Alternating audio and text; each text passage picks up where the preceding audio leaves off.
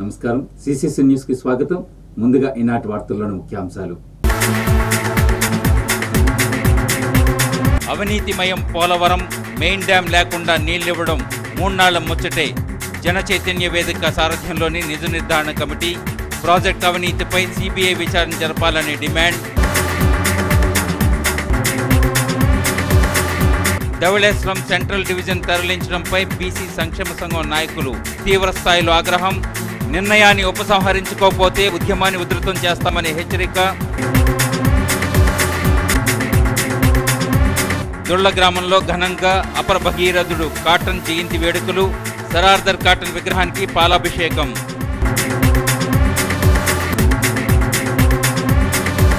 Project పూర్తవ్వాలంటే కనీసం ఏడేళ్ళు పడుతుంది. జన చైతన్య వేదిక సారథ్యంలోని నిజ నిర్ధారణ కమిటీ వెల్లడించింది. పోలవరం ప్రాజెక్ట్ ఇదిగో పూర్తవుతుంది అదిగో పూర్తవుతుంది అని ఇన్నాళ్ళు ప్రజలను మభ్యపెట్టారు.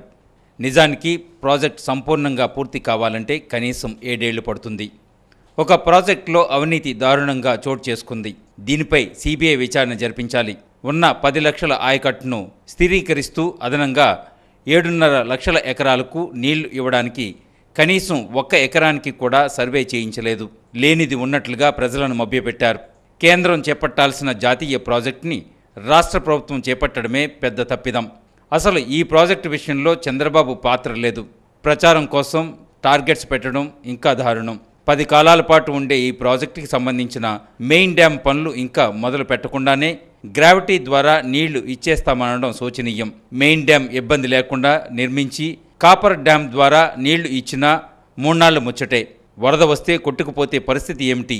ఎన్నో లోపాలు గల ఈ ప్రాజెక్టు గురించి పూర్తిగా పరిశీలన జరిపి పదిహేను రోజుల్లో కొత్త ప్రభుత్వానికి నివేదిక ఇస్తాం అని జన చైతన్య వేదిక సారథ్యంలోని నిజ నిర్ధారణ కమిటీ ప్రకటించింది. జన చైతన్య వేదిక రాష్ట్ర అధ్యక్షుడు వి లక్ష్మణ్ రెడ్డి నిజ నిర్ధారణ committee సభ్యులైన retired chief engineer Rajamalli Prabhakar Reddy K Shankar Reddy retired SE Uppalapati Suryanarayana Raju AP bar council member Muppalla Subbarao వర్తక ప్రముఖులు అశోక్ కుమార్ జైన్లతో కలిసి రాజమండ్రి ప్రెస్ క్లబ్లో బుధవారం మధ్యాహ్నం విలేకరుల సమావేశం నిర్వహించారు. ముందుగా కమిటీ సభ్యులు పోలవరం సందర్శించి వచ్చారు. లక్ష్మణ్ రెడ్డి మాట్లాడుతూ ఏపీ ప్రజలు జీవనాడి పోలవరం గురించి పంతొమ్మిది వందల నలభైలోనే ప్రతిపాదన వస్తే పంతొమ్మిది వందల ఎనభైలో ఆనాటి సీఎం అంజయ్య శంకుస్థాపన చేశారని రెండు వేల ఐదులో అన్ని అనుమతులు తీసుకువచ్చి ఐదారు వేల కోట్లు వెచ్చించి ప్రాజెక్టు పనులు ప్రారంభించిన దివంగత CM doctor YS Rajasekhara Reddy కుడి ఎడమ కాలువల నిర్మాణం చేపట్టారని పేర్కొన్నారు. రాష్ట్ర విభజన తర్వాత ఈ ప్రాజెక్టుని కేంద్రం చేపట్టాల్సి ఉంటే రాష్ట్ర ప్రభుత్వం తీసుకోవడం పొరపాటని ఆయన పేర్కొన్నారు. ఈ ఐదేళ్ళలో పన్నెండు వేల కోట్ల రూపాయలు ఖర్చు చేస్తే అందులో సగం సొమ్ము వివిధ స్థాయిల్లో స్వాహా చేశారని ఆయన ఆరోపించారు. మెయిన్ డ్యాం పనులు అసలు మొదలు పెట్టకుండా కాపర్ డ్యాం పనులు చేస్తూ ఇదిగో నీళ్ళు ఇచ్చేస్తాం అదిగో ఇచ్చేస్తామని చెప్పడం శోచనీయమన్నారు. గతంలో తొమ్మిదేళ్ళు సీఎంగా ఉండగా ఈ ప్రాజెక్టు గురించి ఏమాత్రం పట్టించుకొని చంద్రబాబు పాత్ర ఇప్పుడు కూడా పెద్దగా లేదన్నారు. Retired chief engineer Prabhakar Reddy మాట్లాడుతూ జూన్లో వరదలు వస్తే ప్రాజెక్టు పనులు ముందుకు సాగవని ఇంకా మూడు వందల టన్నుల చొప్పున గేట్లు బిగించాల్సి ఉందని ఇవన్నీ అవ్వాలంటే కనీసం మూడేళ్ళు పడుతుందని అన్నారు. కొత్త ఆయకట్టు విషయంలో సర్వే జరగకపోవడం వింతగా ఉందన్నారు. రిటైర్డ్ ఎస్సీ సూర్యనారాయణ రాజు ఎంతో నాణ్యతగా సాంకేతికంగా నిబద్ధతతో పూర్తి చేయాల్సిన ఈ ప్రాజెక్టు విషయంలో టార్గెట్లు పెట్టడం తగదన్నారు. ముప్పల సుబ్బారావు మాట్లాడుతూ పోలవరం విషయంలో గ్రాఫిక్స్ పిట్టల ధర మాదిరిగా చంద్రబాబు పరిస్థితి ఉందని వ్యాఖ్యానించారు. ప్రాజెక్ట్ పూర్తి కాకుండానే కోట్లాది రూపాయలు ఖర్చు చేసి ఆర్టీసీ బస్సులో జనాన్ని తీసుకెళ్ళి భోజనాలు పెట్టించి మభ్యపెట్టడం దారుణమన్నారు. సీఎం చంద్రబాబు ఇరిగేషన్ మంత్రి దేవినేని ఉమా తమ ప్రకటనలో మభ్యపెట్టినందుకు నాలుగు వందల ఇరవై కేసులు పెట్టాలన్నారు. అసలు ఈ ప్రాజెక్టు తీరు తెన్నులు కాంట్రాక్టుల తీరుపై సిబిఐ విచారణ చేయాలన్నారు. మెయిన్ డ్యామ్ నిర్మాణానికి అవరోధంగా ఉండటం కోసం ఆ వరద ప్రవాహాన్ని తట్టుకోవడం కోసం నిర్మించే కాంట్రాక్టర్ నిర్మించుకునే ఒక తాత్కాలిక డ్యామ్ కాపర్ డ్యామ్. దాన్ని నలభై రెండు మీటర్ల ఎత్తుని పెంచి దాని ద్వారా నీళ్ళు అంది అందించాలనుకోవటం అవివేకం. ఈ కాఫర్ డ్యామ్ అనేది ఏమాత్రం వరద వచ్చినా కూడా వెంటనే కొట్టుకుపోయే డ్యామ్ అది. అది కేవలం కొద్దిపాటి ప్రవాహాన్ని ఆపడానికి ఉపయోగించే కాఫర్ డ్యామ్ మాత్రమే. సో ఈ పరిస్థితుల్లో ప్రజల్ని ఇలా మభ్యపెట్టడం కరెక్ట్ కాదని భావిస్తూ ఉన్నాం. రాబోయే ప్రభుత్వానికి పోలవరం వాస్తవాలను తెలియజేయడం కోసం జరుగుతున్న జరిగిన లోపాన్ని జరగబోయే కార్యక్రమం గురించి తెలియజేయడం కోసం ఈ ఈ నిధి కమిటీ ఏర్పాటు చేయడం జరిగింది. సో అది అలా ఉండగా స్పిల్వే వచ్చేసి స్పిల్వే ఆల్మోస్ట్ క్రెస్ట్ లెవెల్కి అన్నీ వచ్చేసినాయి. క్రెస్ట్ లెవెల్ నుంచి గేట్ పెట్టడానికి కొన్ని కొన్ని అంటే దాదాపు ఇరవై మీటర్ల ఎత్తు గేటు ప్లస్ దాని మీద మళ్ళీ రోడ్డు ఏర్పడడానికి దాదాపు ఇరవై ఐదు ఇరవై ఆరు మీటర్ల ఎత్తు ప్రతి ఒక్కరి క్రెస్ట్ లెవెల్ నుంచి పిల్లలు పైకి లేయాలి. ఇప్పుడు మేము చూసింది ఏమంటే ఇంకా పద్నాలుగు మీటర్లు దాదాపు ఇంకా ఎత్తు లేపాల్సింది. ప్రస్తుతం జరిగే పనులను చూస్తే అక్కడ వారు చెప్పిన ప్రకారం రోజుకు నాలుగు పిల్లలు అంటే నలభై ఐదు పిల్లలకు గాను నాలుగు పిల్లలు మాత్రము ఒక్కొక్క మీటర్ లేపుతున్నారు. అంటే ఒక అన్ని పిల్లలు ఒక్క మీటర్ లేవ లేపాలంటే దాదాపు పన్నెండు దినాలు పడుతున్నాను ఒక్క సంవత్సరంలోనే దీనికి చాలా క్లియరెన్సెస్ కావాలి. Forest clearance tribal clearance inter state clearance environmental clearance discharge clearance CWPC approvals ఇవన్నీ కావాలి. అవన్నీ ఒక సంవత్సరంలో వార్ ఫిట్టింగ్లో అవన్నీ అప్రూవల్ తీసుకొచ్చి ఆ రోజుల్లోనే ఇది government of India national project కింద ప్రపోజ్ చేసి మొదలుపెట్టారు. అయితే ఇంకొక విశేషం ఏంటంటే ప్రా ఈ ప్రాజెక్టులు రెండు పార్ట్స్ ఉంటాయి. ఒకటి హెడ్ వర్క్స్ రెండు కెనాల్ సిస్టమ్ అంటాం. హెడ్ వర్క్స్లో మళ్ళీ మూడు పార్ట్స్ ఉంటాయి.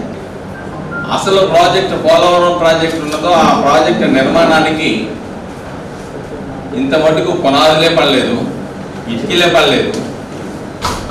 దీనికి సహజంగా ఈయనకి తెలుసు. అలాంటి పడిన వాటికి కోట్లాది రూపాయలు ఆర్టీసీ బస్సులు పెట్టి అక్కడ భోజన సదుపాయాలు కోట్లాది రూపాయలు ఖర్చు పెట్టేసి పోలవరం ప్రాజెక్ట్ని ఏదో ఉద్ధరించానని చెప్పేసరి ప్రభుత్వానికి కోట్లాది రూపాయల నష్టాన్ని చేకూర్చినటువంటి ఘనత చంద్రబాబు నాయుడు. ధవళేశ్వరం సెంట్రల్ డివిజన్ తరలింపుపై బీసీ సంక్షేమ సంఘం నాయకులు తీవ్ర స్థాయిలో ఆగ్రహం వ్యక్తం చేస్తున్నారు. ధవళేశ్వరంలోని ఇరిగేషన్ సెంట్రల్ డివిజన్ కార్యాలయాన్ని అమలాపురానికి తరలించడానికి ప్రయత్నిస్తే బీసీ సంఘ ఆధ్వర్యంలో ఉద్యమం చేపడతామని నేతలు హెచ్చరించారు. సెంట్రల్ డివిజన్ కార్యాలయం తరలింపు ప్రయత్నాలు నిరసిస్తూ ఆంధ్రప్రదేశ్ బీసీ సంక్షేమ సంఘం రాష్ట్ర కోఆర్డినేటర్ నర్వ గోపాలకృష్ణ రాజమండ్రి రూరల్ అభివృద్ధి సమితి కన్వీనర్ కడలి వెంకటేశ్వరరావు ఆధ్వర్యంలో ధవళేశ్వరం ఎస్సీ కార్యాలయం వద్ద ఈరోజు ధర్నా నిర్వహించారు. ఈ సందర్భంగా కడలి మాట్లాడుతూ నీటిపారుదల వ్యవస్థకు కీలకమైన సెంట్రల్ డివిజన్ కార్యాలయాన్ని కాటన్ మహాశయుడు ఇక్కడ ఏర్పాటు చేశారన్నారు. ఇప్పుడు దాన్ని అమలాపురానికి తరలించడానికి ప్రయత్నిస్తే ఆందోళన చేపడతామని హెచ్చరించారు. కొందరు లబ్ధి కోసం ఇరిగేషన్ విభాగానికి కీలకమైన ఈ కార్యాలయాన్ని ఇక్కడి నుంచి తరలించడానికి ప్రయత్నిస్తే ఊరుకోబోమన్నారు. ధవళేశ్వరంలోనే కార్యాలయాన్ని కొనసాగించేలా ప్రభుత్వం ఉత్తర్వులు జారీ చేసే వరకు ఆందోళన చేస్తామని స్పష్టం చేశారు. నర్వా మాట్లాడుతూ పంతొమ్మిది వందల ఎనభై ఎనిమిదిలో ఈఈ కార్యాలయం తరలింపునకు జీవో వస్తే ఇప్పుడు తరలిస్తారా అని నిలదీశారు. ఎవరి స్వలాభం కోసం ఈఈ కార్యాలయాన్ని తరలిస్తున్నారో చెప్పాలని డిమాండ్ చేశారు. అప్పటి జీవోను ఇప్పుడు అమలు చేయడానికి ప్రయత్నించడం ఏమిటని ప్రశ్నించారు. బీసీ సంక్షేమ సంఘం ఆధ్వర్యంలో ఈఈ కార్యాలయాన్ని తరలించకుండా ఉద్యమిస్తామని హెచ్చరించారు. అనంతరం ఎస్సీ కార్యాలయంలో పిఏకి వినతిపత్రం అందజేశారు. ఈ కార్యక్రమంలో రాష్ట్ర కార్యదర్శులు గోలి రవి పొడుగు శ్రీను హైకోర్టు న్యాయవాదుల సంఘం సభ్యురాలు గుబ్బల లక్ష్మీ తులసి జిల్లా యువజన విభాగం అధ్యక్షుడు దాస్యం ప్రసాద్ రూరల్ అధ్యక్షుడు బిల్డర్ చిన్న సిటీ అధ్యక్షుడు మజ్జి అప్పారో గ్రేటర్ కార్యదర్శి ధర్మవరపు శ్రీనివాసరావు నగర కార్యదర్శి నందన్ స్వామి ఇతర నాయకులు కాకుర్తి మురళి పసలపొడి వీరభద్రరావు పి బాబురావు రుక్మాందర్రావు తదితరులు పాల్గొన్నారు. ఈ ఇరిగేషన్ సర్కిల్ కార్యాలయాన్ని డివిజన్ కార్యాలయాన్ని తీసుకెళ్ళడం కరెక్ట్ కాదు. దీన్ని తక్షణమే ఆపాలి ధవలేశ్వరంలో ఉంచాలి. ఆ విధంగా ఉంచకపోతే మాత్రం ఖచ్చితంగా మేమందరం కూడా ఉద్యమిస్తామని ప్రభుత్వానికి తెలియజేస్తాం. ఏ ప్రజాప్రతినిధికి దీంట్లో వాటాలు ఉన్నాయో తేల్చాలి. ఎట్టి పరిస్థితుల్లో కూడా ఇక్కడి నుంచి ఆఫీస్ తరలించే అవకాశం లేదు. అటువంటి చేస్తే మాత్రం బీసీ సంక్షేమ సంఘం ఇంకా ఉద్యమిస్తాం. తీవ్రస్థాయిలో ఉద్యమిస్తాం. ధవలేశ్వరంలో సెంట్రల్ డివిజన్ ధవలేశ్వరంలో సెంట్రల్ డివిజన్ ధవలేశ్వరంలో సెంట్రల్ డివిజన్ ధవలేశ్వరంలో సెంట్రల్ డివిజన్ ధవలేశ్వరంలో సెంట్రల్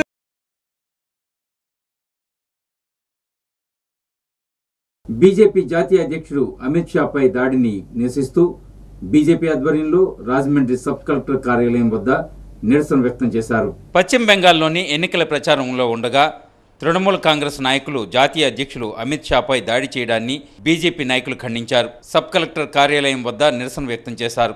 ఆదరణ చూడలేక పశ్చిమ బెంగాల్ ముఖ్యమంత్రి మమతా బెనర్జీ ఇటువంటి దాడులకు పాల్పడడం మంచి పరిణామం కాదని అన్నారు. బీజేపీ నాయకులు క్షత్రియ బాలసుబ్రహ్మణ్యం సింగ్ ఆధ్వర్యంలో ఈ కార్యక్రమం జరిగింది.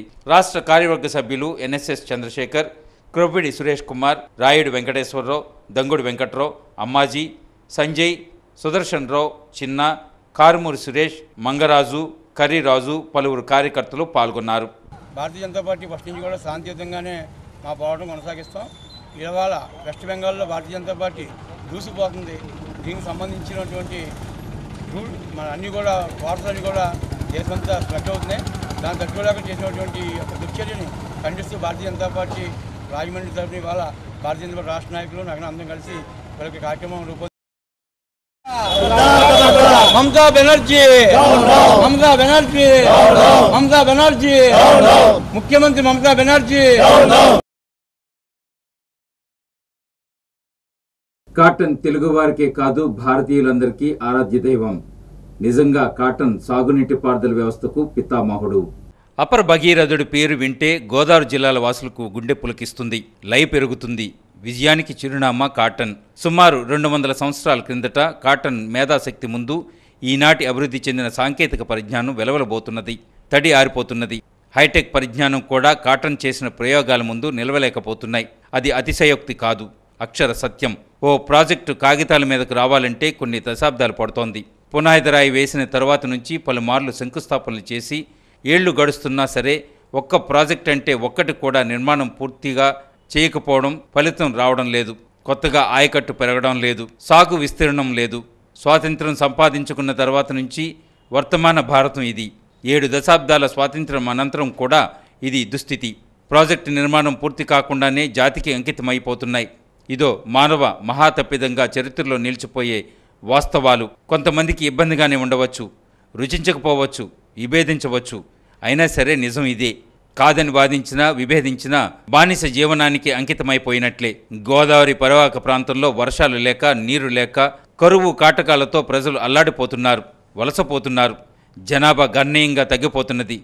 పల్లెలు గ్రామాలు ఖాళీ అయిపోతున్నాయి. ప్రజల బాధలు వర్ణించనలవి కాదు.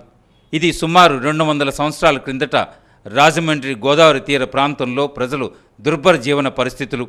కాటన్ రాకతో ఈ ప్రాంతం రూపురేఖలు మారిపోయాయి. గోదావరి నీళ్ళు నిలిచాయి. డెల్టా ప్రాంతం ఆవిర్భవించింది. గ్రామాలు పల్లెలు ఒక్కసారిగా హరితవనాలుగా మారడమే కాదు ఉభయ గోదావరి జిల్లాలు ధాన్యాగారాలుగా అభివృద్ధి చెందాయి. దేశంలో ఇతరత్ర ప్రాంతాల గోదావరి జిల్లాల ఆహార ధాన్యాలను ఎగుమతి చేసి అందించే స్థాయికి చేరుకున్నాయి. ఈ ప్రాంతం వారికే కాకుండా దేశంలో చాలా ప్రాంతాల వారి ఆకలి తీర్చగలిగే అన్నపూర్ణగా ప్రసిద్ధికెక్కాయి. ఇదంతా కేవలం ఐదు సంవత్సరాల్లోనే సాధ్యమైంది. అది కాటన్ మహాశయుని నిబద్ధత. అలాంటి నిబద్ధత కానీ నిజాయితీ కానీ భారతదేశంలో జన్మించిన ఏ కొద్దిమంది అలవర్చుకున్నా సరే ప్రజలు జీవన ప్రమాణాలు మరింత మెరుగవుతాయి. కాటన్ తన శ్రేయస్కు కృషి చేయలేదు. గోదావరి తీర ప్రాంత ప్రజల జీవనం కోసం కృషి చేశారు. అందుకే ఓ సాధారణ మనిషి తరాలు గడుస్తున్న గోదావరి ప్రజల గుండెల్లో అపర భగీరథునిగా భగవంతుడిగా దేవుడిగా మిగిలిపోయాడు. భవిష్యత్తు తరాలకు కూడా ఆయన ఆరాధ్యుడు. తెలుగువారే కాదు తమిళులు ఒరియాలు బెంగాలీలు బీహారీలు. మొత్తం భారతీయులే ఆయనకు శాశ్వత రుణగ్రస్తులు. సుమారు నూట యాభై ఏళ్ళ తరువాత కాటన్ మునిమనవుడు ఆయన రాబర్ట్ కాటన్ ఆంధ్రప్రదేశ్కు వచ్చి గోదావరి తీరాన్ని మొత్తం తనివి తీరా పరిశీలించారు. రాజమండ్రి నగరానికి కూడా విచ్చేశారు. కాటన్ మునిమనవుడికి నిజంగా గోదావరి జిల్లాల ప్రజలు బ్రహ్మరథం పట్టారు.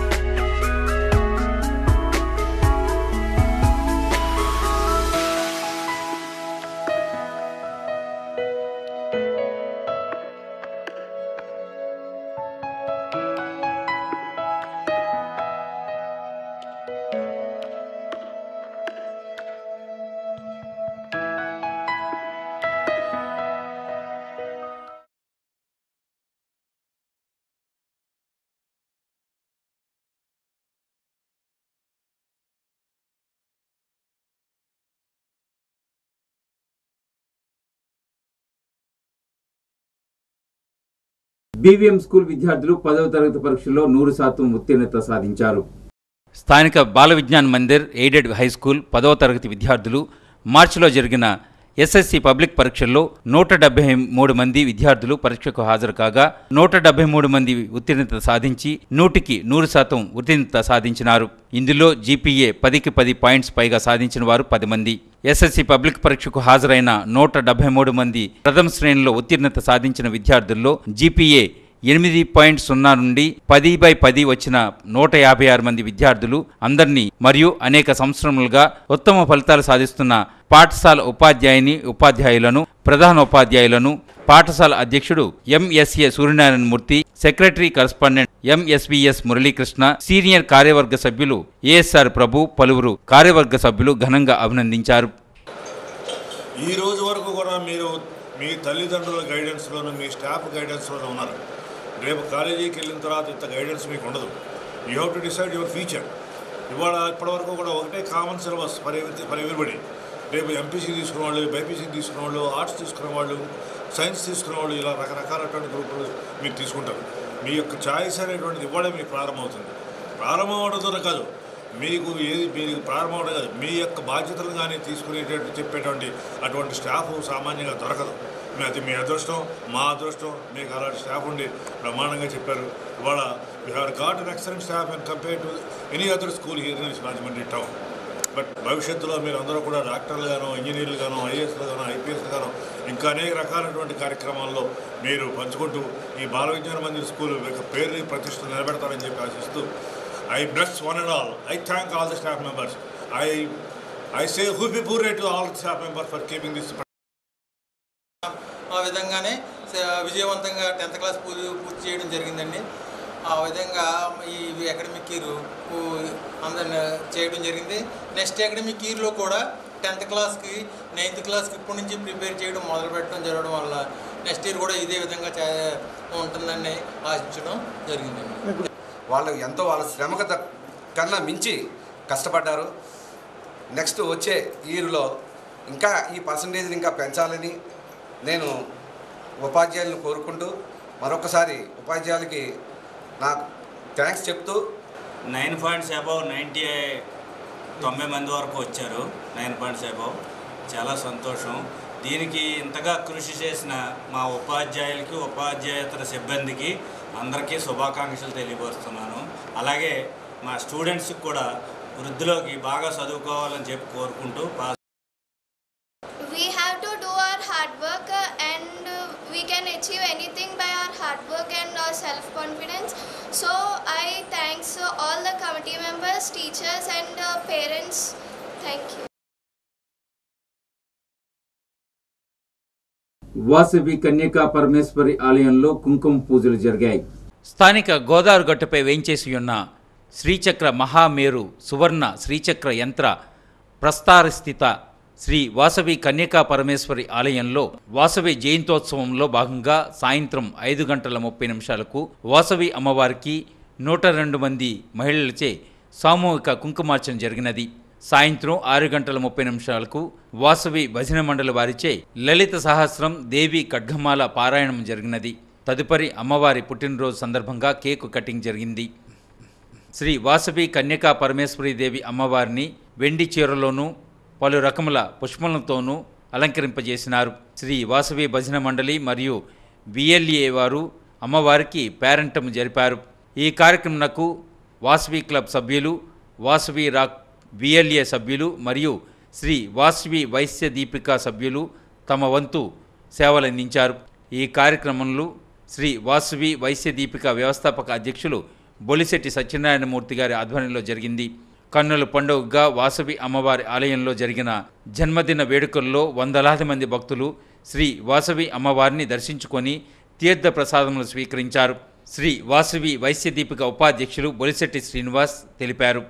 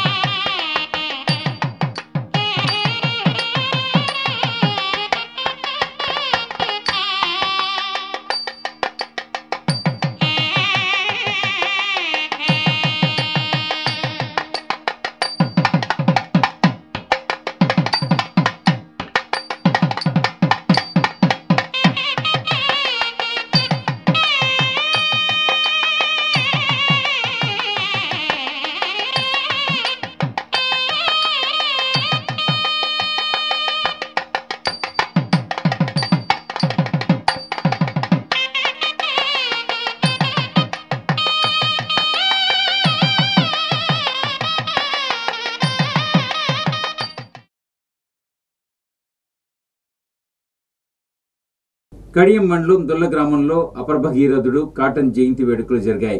సర్ ఆర్థన్ కాటన్ జయంతి ఉత్సవాల్లో భాగంగా కడియం మండలం దొల్ల గ్రామంలో ఆదర్శ రైతు డాక్టర్ సత్య భాస్కర్ రెడ్డి ఆధ్వర్యంలో సర్ ఆర్థన్ కాటన్ పుట్టినరోజు వేడుకలు అత్యంత ఘనంగా నిర్వహించారు. కాటన్ విగ్రహానికి మొదట ధాన్యపు అభిషేకం పాలాభిషేకం నిర్వహించి అనంతరం పూలమాలలు వేసి ఆయనకు ఘనంగా జయంతి ఉత్సవం నిర్వహించారు. ఈ కార్యక్రమంలో మాజీ సర్పంచులు చిత్తూరి అమ్మిరాజు గుర్రప సత్యనారాయణ ఎంపీటీ సభ్యులు తోకల వీర వెంకట్రావు టేకి శ్రీనివాసరావు గ్రామ పెద్దలు రైతులు పాల్గొన్నారు. అలాగే ప్రతి సంవత్సరం కూడా ఇది మేము ఎప్పుడు జరుపుకునేదే. ఆ మహానుభావుడు మరి ఈ ఆనగట్ట కట్టి ధవళేశ్వర వద్ద ఈ ఆనగట్ట నిర్మించి ఈ ఉభయ గోదావరి జిల్లాల్ని సస్యశ్యామలం చేసినటువంటి మహనీయుడికి మహానుభావుడికి మీ యొక్క వేడికి జరుపుకోవటం మాకు ప్రతి సంవత్సరం కూడా మేము ఆనవాయితీగా చేసుకుంటున్నాం.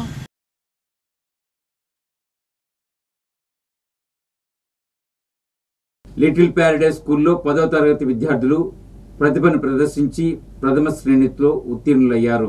ఎస్ఎస్సి రెండు వేల పంతొమ్మిది ఫలితాలలో లిటిల్ ప్యారడైజ్ స్కూల్ నుండి నలభై మంది విద్యార్థులు పదికి పది జీపీఏ సాధించి సంస్థకు గర్వకారణంగా నిలిచారు. ఈ సందర్భాన్ని పురస్కరించుకొని school principal B Sridevi correspondent B Satyanandam success meet నిర్వహించి పిల్లలను సత్కరించారు. హాజరైన నూట ఇరవై ఐదు మంది విద్యార్థుల్లో నూట పదిహేను మంది విద్యార్థులు తొమ్మిది పాయింట్ సున్నా జీపీఏ ఆ పైన సాధించారని తెలియజేశారు. గత ఇరవై మూడు సంవత్సరాలుగా రాజమహేంద్రవరంలో లిటిల్ ప్యారడే స్కూలు ఉత్తమ విద్యా సంస్థగా గుర్తించబడుతూ ఎస్ఎస్సిలో అత్యుత్తమ ఫలితాలను ప్రతి సంవత్సరం సాధించడం అభినందనీయమని ఆమె పేర్కొన్నారు. 130, uh, 115 students stood above 9 GPA and uh, we had subject wise grading like English we had 113 students with 10 GPA and Telugu nearly 70, Hindi 65, Maths 84, Science 81, Social 97 with 10 by 10 GPA. I'm very glad and happy with the wonderful success you have achieved. I would like to thank all my teachers and my time.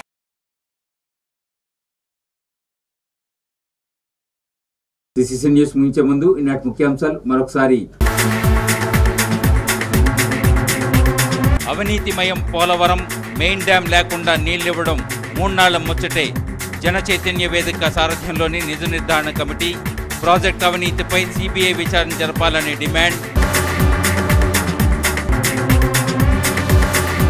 Dhavaleswaram central division తరలించడంపై BC సంక్షేమ సంఘం నాయకులు తీవ్ర స్థాయిలో ఆగ్రహం. నిర్ణయాన్ని ఉపసంహరించుకోకపోతే ఉద్యమాన్ని ఉధృతం చేస్తామని హెచ్చరిక.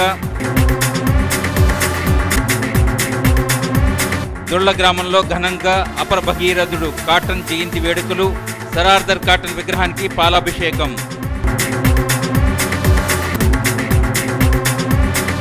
సిసిసి న్యూస్ ఇంతటితో సమాప్తం. తిరిగి ప్రసారమయ్యే సిసిసి న్యూస్లో కలుసుకుందాం. అంతవరకు సెలవు. నమస్కారం.